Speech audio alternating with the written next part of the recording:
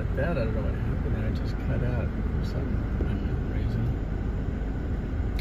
But uh, yeah, we're here now. The male is here. Males are darker than the females, so I can tell them apart.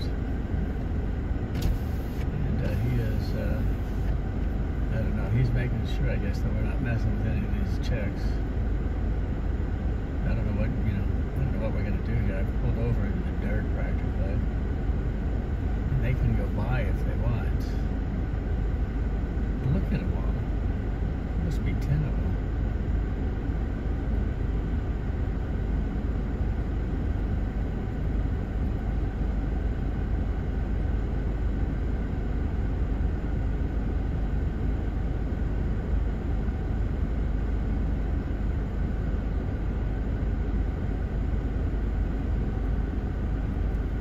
You guys have to make a decision.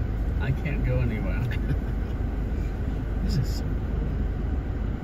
Yeah, did not expect to see these guys here. You know, usually you see them further north where it's uh, drier and, uh, and this kind of a more lush down here, this latitude. You just don't see them that much. And to see them with all these chicks and then just walking along the road, pretty awesome.